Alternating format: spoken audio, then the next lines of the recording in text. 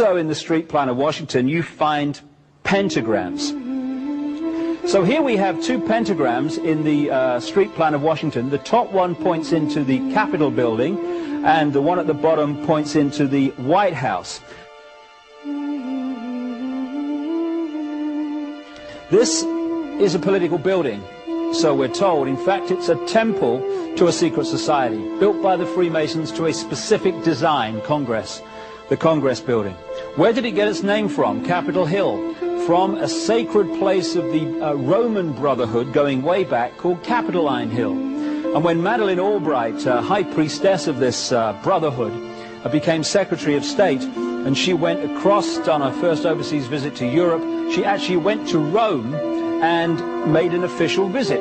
Uh, what for her would have been a pilgrimage to Capitoline Hill in Rome, and that's where we get Capitol Hill from. This is George Washington. Um, in the last century, they decided they didn't have a decent statue of George, so instead of getting an American to, to produce one, they ordered it from Italy, from Florence.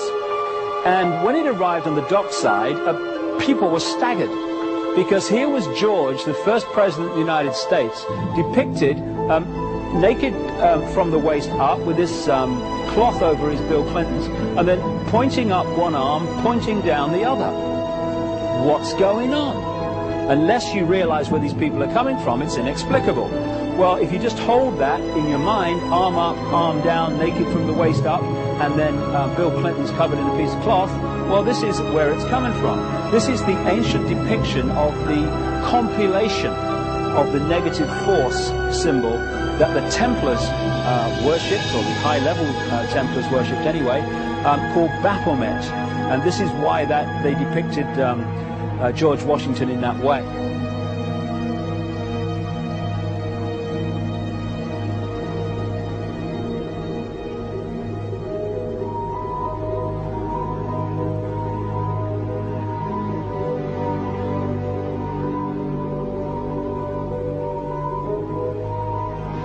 what has come to light is that it's now been, it's sort of, it's, it is not so surprising for a lot of people that there are covens amongst the very educated class, architects, doctors, lawyers, priests, um, brokers, um, and the leisure class.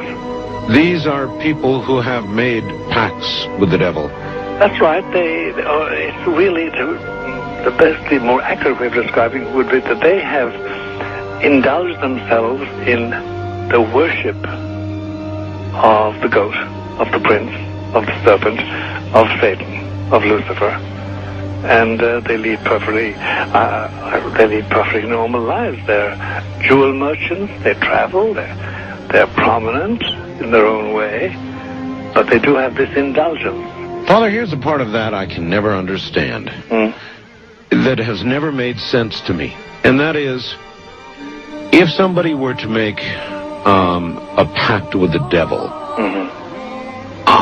Then obviously the, the implication is if, if the devil is there to make a pact with them, to make a deal, to make their life, uh, their short mortal life on earth, pleasurable um, with, with money or women or travel Or more or, interesting, more interesting. or more interesting, whatever it is they want.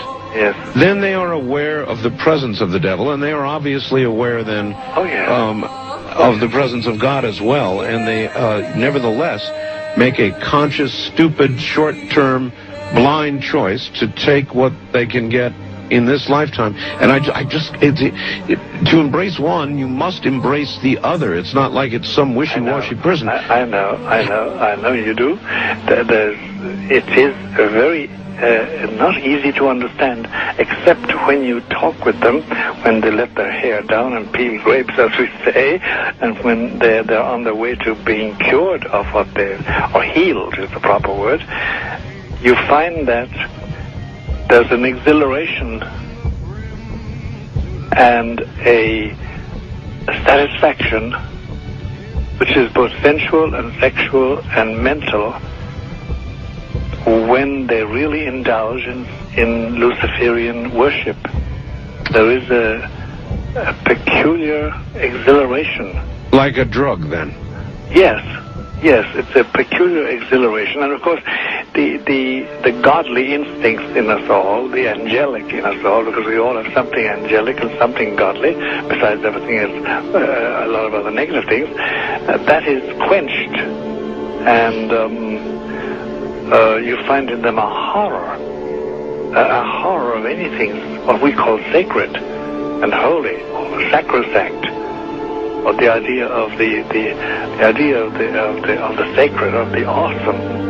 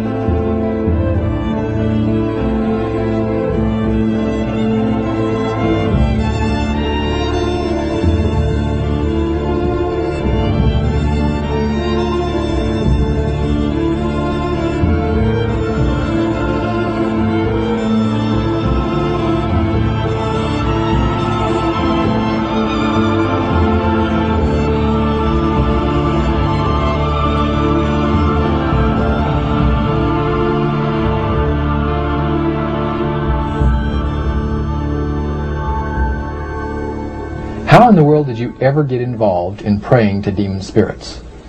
A, a fellow that, that had been on a particular ship with me, he told me, hey, I got something fantastic to tell you.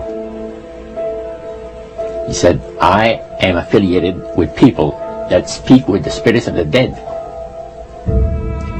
How would you like to talk to this, the, the spirit of your dead mother? And I was shocked. I was shocked. He said, you wouldn't be uh, afraid of talking to, to the spirit of your dead mother, would you? Well, I said, I'll tell you what, I would have to give that some thought, because it's something I never thought about before in my life. Most of us probably haven't. A little afraid of something like that. Well, he says, you know, you know, it's written all over your face. You're afraid of, of going to a seance. But he says, I know you. He says, you're going to come.